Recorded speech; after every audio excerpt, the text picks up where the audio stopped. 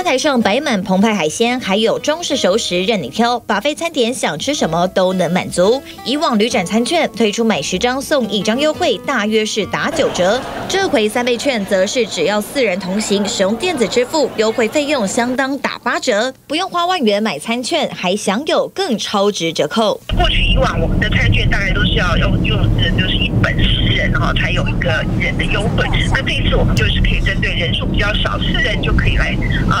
有这样子的一个优惠的。包含服饰业者也趁势推优惠，来自日本的品牌带着小清新风格，三倍券上路后将打出五折优惠，原价两千元服饰只要一千元的三倍券就能买到，最高可用三千换六千元商品。另一家品牌不落人后，除了推出打七折优惠，使用三倍券还会加码回馈，直接百分之十回馈给消费者。也就是说，百货公司呢满千送百的概念，可能就是说，哎，你拿振兴券来三千元，那我直接回馈给你三百元。喜欢的衣服品牌，但是现在就是比较贵。那振兴券就是比较便，就是可以用比较便宜的价格去买。好像有蛮多餐厅就是会推出三千块的振兴券，然后吃到比三千块更多的美食这样。尽管三倍券还有一个多月才领到，各业者火速推优惠，要趁这波方案抢回上半年损失业绩。消费者也正好货比三家，不吃亏。记者谢君正、谢伟仪台北报道。